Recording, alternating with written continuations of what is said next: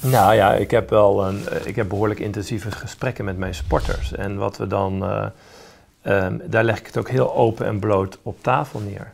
Wat, wat zijn nou jouw bedreigingen tot en met Rio?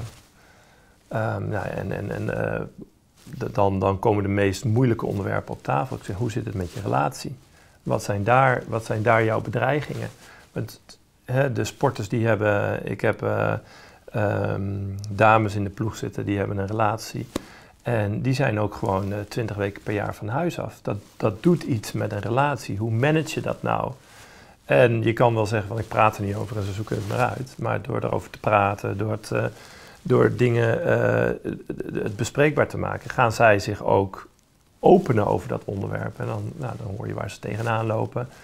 En dan wordt het ook makkelijker om eens ehm, slimme keuzes te maken. Hè? Want dan heb je een vrijdag, eh, hebben ze bijvoorbeeld vrij, vrijdagmiddag en zaterdagochtend moeten ze wel trainen. Maar dan zeg je, ja, maar mijn vriend eh, gaat zaterdag, eh, hebben, heeft zijn familie gezinsdag en daar wil ik mee naartoe. Kunnen we daar iets mee doen? Nou, dan verschuif je een training.